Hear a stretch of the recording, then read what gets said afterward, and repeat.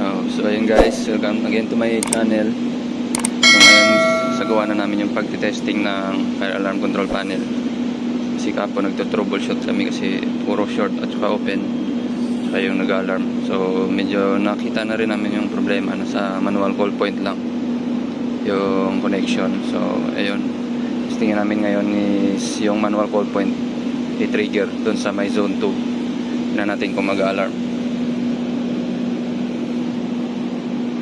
Yan. So ito ngayon is zone 1, yung area na to, yung sa likod, zone 2. Yung kaharap nito is zone 3, saka yung sa dulo is zone 4. So, ayun, si Shadow on duty.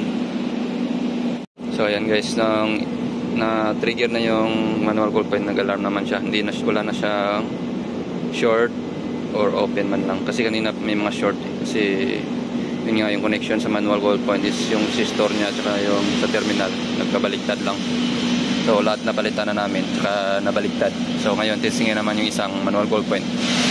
Kasi every zone mayroong, mayroong dalawang manual call point tsaka isang sounder.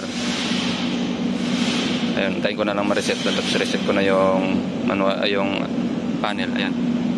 Reset ayan guys, papakita ko sa inyo yung termination ng fire alarm con con control panel fire detection.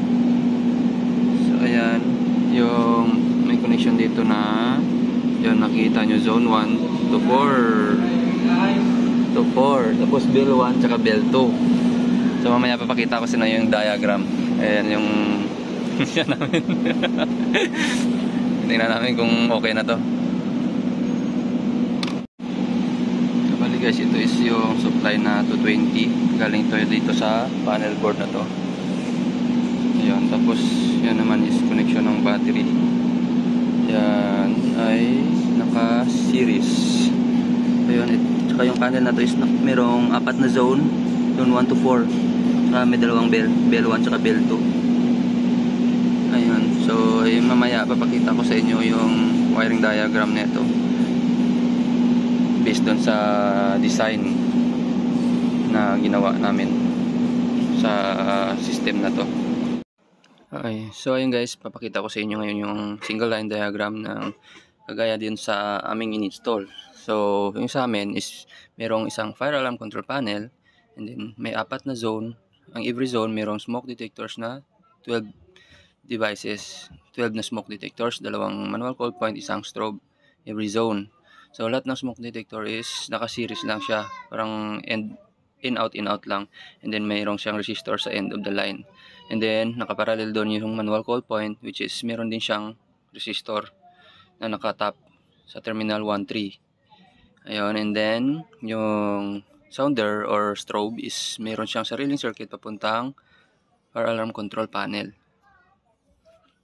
Ayan, so nandun naman sa unang video, nakita nyo yung mga terminals is meron siyang zone, 4, zone 1 to 4 and may bill 1, bill 2. So every bill in bill 1 and bill 2 meron silang sariling circuit papuntang zone 1, zone 2. And then yung isang bill 1 is zone 3 and 4. So parang inisang sounder lang yung zone 1 and 2. Tapos isa rin sounder yung zone 3 and 4. Guys, yung next namin na testingin is yung zone 4. So, ayun, pinapakabit muna yung yung isang smoke detector na tinanggal namin kanina. So, ayun guys, so nag-alarm nila rin yung sa zone 3 manual call point na tinrigger. So, testingin namin yung kabilang side.